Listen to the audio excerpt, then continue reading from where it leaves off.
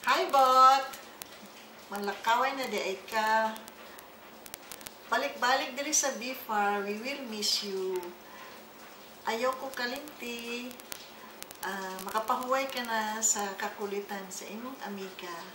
Carry on with your um, religious devotion. God bless you. Bye-bye. Bebot for you, uh, I'm praying. Sabi mo sa akin, kunin mo yung aking cellphone kasi baka mamaya gusto mo makipag-usap, banding-banding sa mga malls.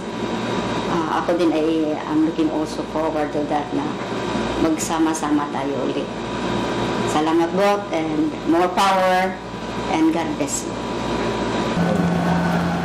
Bebot, ah, ako ang amiga since 1978 mangguro to pag sugod ako sa BIFAR. Bebot, kabalo ko nga ah, gusto gid nimo nga mauban ang imong mga anak bisan tong tuwa sa gawas. I hope nga imuha lang matuman ang imuhang pangandoy na um, free free na ka sa sa stress so mupuyo na ka sa kauban sa imong family na happy so uh, God bless Bebot enjoy your retirement Okay, um, ako, ipangita din ko ani ni Christian kay kami daw lagi ang friend ni Bebot.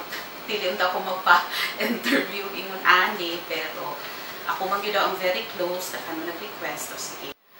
Well, uh, maso, maano lang ko kay Bebot, masulti na ako kay Bebot noong una-una. Uh, nagpasalamat ko sa taas, no, nga uh, nag-met mi ni Bebot no diri sa opisina kay Kabalumantan na diri sa kalibutan wa man ta kabalo kung kinsa gani atong parents no kinsa ato mamet ang mga friends no. Wala ta kabalo ana so uh, for the fact na si Bebot gihatag sa kuha as one of my friend no and then diri pa jud may mag-meet sa opisina. Para sa kuha blessing siya. Kami lang gihapon because mutuo ko na walay makadestroy gud sa sa sa friendship or maskin sa magtiayon no kung ang foundation ninyo is ang word of God nag-enjoy me, nag-enjoy me sa friendship na mo Bebot sa mga panalangin, kasi tama-tama lang ang amo ang pagkabutang sa kalibutan, pero makita na mo na smooth ba ang ang, ang journey din sa kalibutan, kauban sa among pamilya, our family are still intact, no?